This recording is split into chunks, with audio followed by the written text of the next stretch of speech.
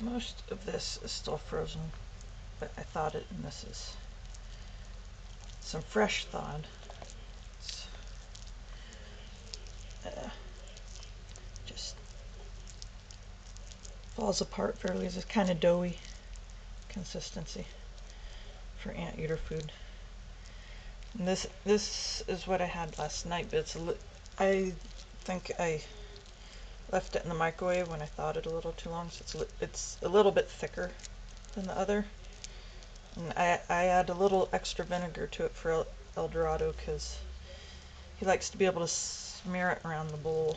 This is actually a fairly good consistency for him, but I just add a little bit a little bit more vinegar and then it's a little easier for him to eat.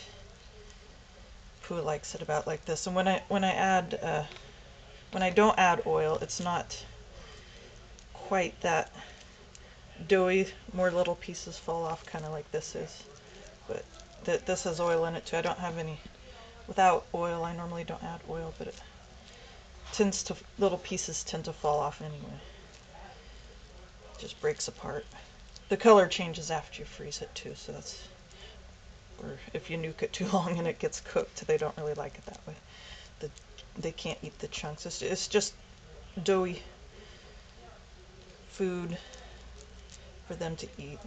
He, he smears it around. When Pua eats it, she breaks little pieces off, like like that fall off, and then she'll lick those up and smears it around on her. So Eldorado's actually a little neater because he uses the bowl and he just smears it around in the bowl for the most part.